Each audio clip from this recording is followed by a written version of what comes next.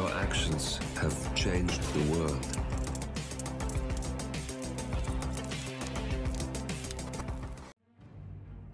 Hello, hello, and welcome back to the world of assassination and the featured contracts. And today's contract, The Art Lovers, set in Sapienza. So, on to our briefing. Do not eliminate Dylan's twin brother. And the contract today has been supplied to us courtesy of Kevin Rudd.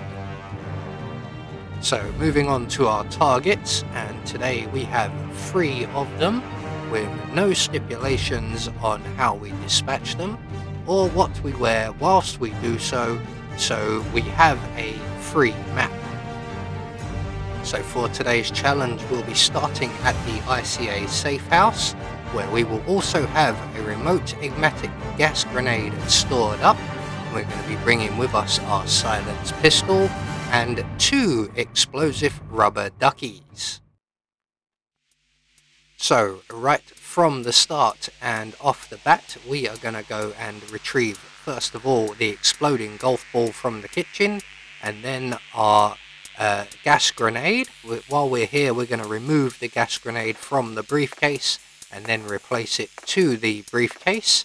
And then we're going to make our way down to the street level.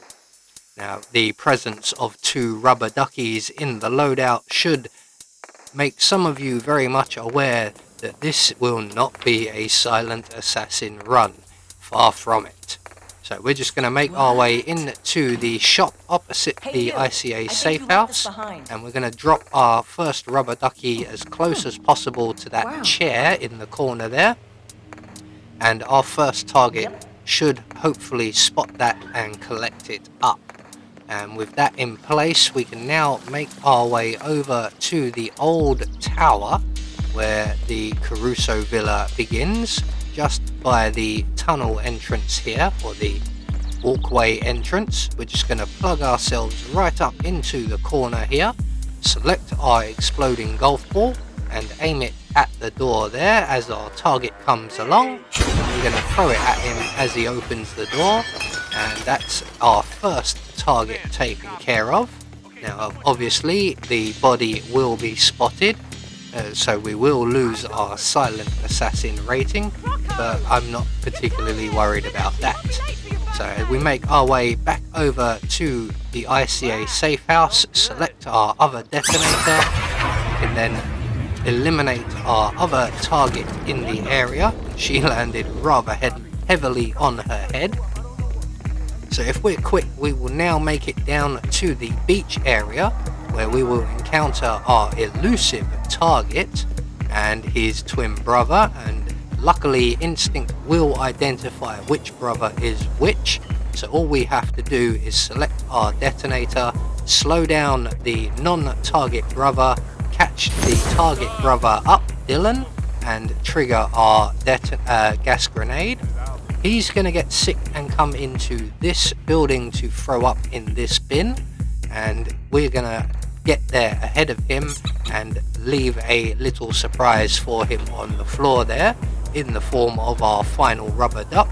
And when he goes in to be sick, we're going to let the door close and then we are going to detonate our final target. In fact, we didn't even wait for the door to close. The money has been wired to Unfortunately, you couldn't really see through the window.